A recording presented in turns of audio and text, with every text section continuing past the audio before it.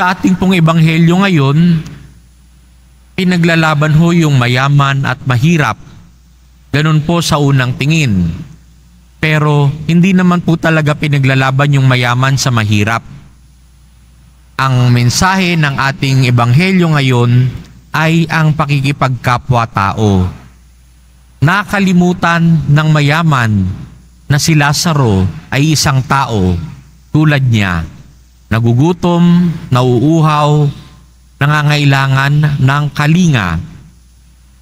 Kaya nga ngayong panahon ng kwaresma, magandang nagtitika tayo at nag-aayuno dahil kapag ginawa natin ito, nakakaramdam tayo ng gutom, ng uhaw.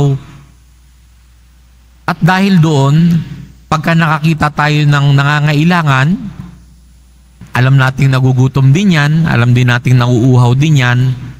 So, makakapag-share din po tayo ng blessings natin, no?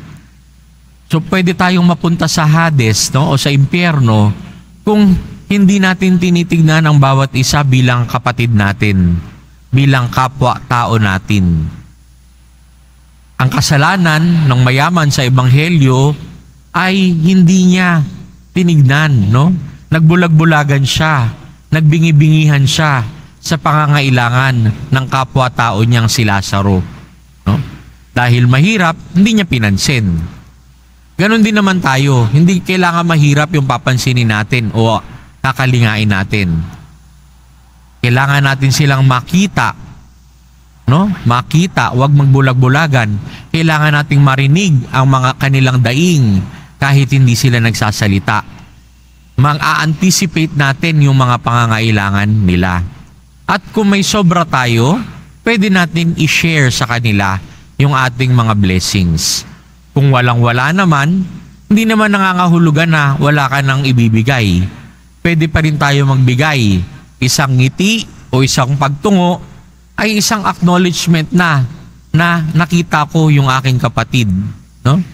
Paglabas natin, may mga kasalubong tayong nangangailangan. Kung wala tayong maibibigay, ano ba naman yung ngingitian natin sila at tutunguan?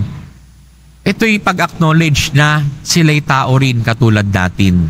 At ito ang gustong matutunan. Ito ang gusto ni Jesus na matutunan natin. Kaya pag tumingin tayo sa mahal na poong Nazareno, kay ganda, no? Kasi kikita natin na siya'y naghihirap. Katulad, isa siyang Diyos, pero nagkatawang tao para mag para makita rin natin na kahit ang Diyos nagpakahirap, dinanas yung hirap natin. Meron pa bang da, meron pa bang hihirap sa dinanas ng Poong Nazareno? Wala na po. So yung ating mga dinaranas ngayon ng mga sakit, ng mga iniinda, pag tumingin po tayo sa Poong Nazareno, kailangan makonsol din tayo dahil ito'y Diyos. Hindi niya kailangan magpakasakit. Isang pitik lang ng kanyang daliri, mawawala na yung mga sakit. Pero hindi. Dinaras pa rin niya para ipakita sa atin na siya ay kaisa natin. No? Yung mga hirap na dinaras, dinaranas natin, yun din ay dinaranas niya at ibinuhat niya sa kanyang krus. Kaya mga kapatid, ang tawag sa atin ngayong misa, huwag po tayong magbulag-bulagan, magbingi-bingihan sa mga tao sa paligid natin. Lahat tayo ay nangangailangan sa bawat isa, magtulungan po tayo at magmahalan tulad ng pagtulong at pagmamahal sa atin ng poong Jesus Nazareno. Amen.